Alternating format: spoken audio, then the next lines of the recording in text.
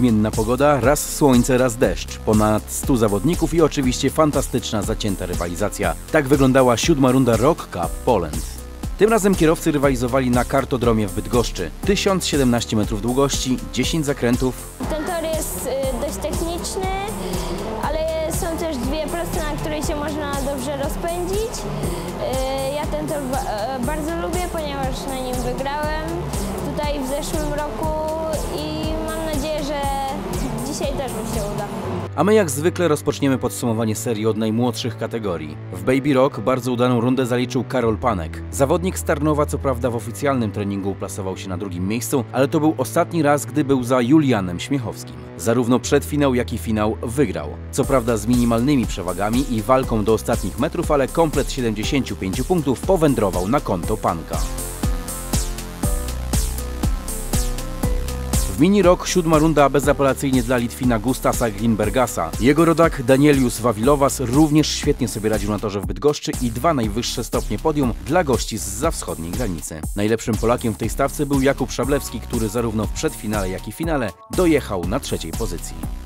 Niezwykle zacięta rywalizacja trwała w kategorii Junior Rock. Na dystansach obu finałów trwała walka o każdy zakręt między Michałem Kasiborskim a Mateuszem Pyłką. Tym razem to ten drugi wyszedł z niej obronną ręką. Na przedfinale i przed, i w finale pierwszy.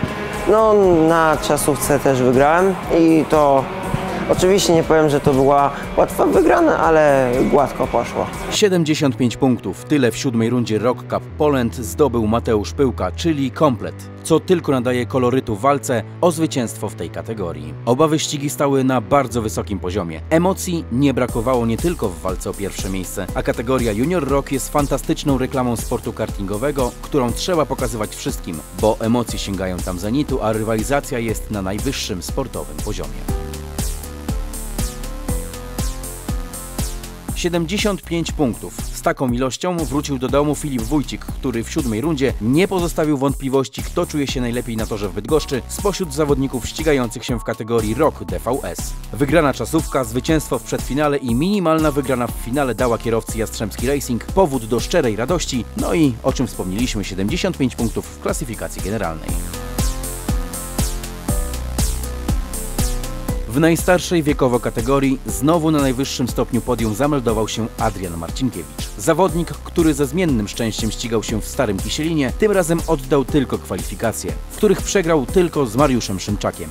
Przedfinale i finale prowadził prawie niezagrożenie od startu do mety i choć chwilami i Szymczak i Daniel Zając próbowali dobrać mu się do skóry i odebrać zwycięstwo, to kierowca ACR wygrał w obu biegach. Komplet punktów tylko umocnił go na pozycji lidera serii Rock Cup Poland w kategorii GP. Za nami 7 rund Rock Cup Poland 2015, a to oznacza, że dotarliśmy do półmetka rywalizacji. Walka o wyjazd na finał światowy w Lonato nabiera rumieńców. Nikt jeszcze nie może być pewny sukcesu, a to tylko wspaniale dla kibiców, którzy będą mogli śledzić tę zaciętą rywalizację w każdej kategorii. Miejmy nadzieję do ostatniego wyścigu.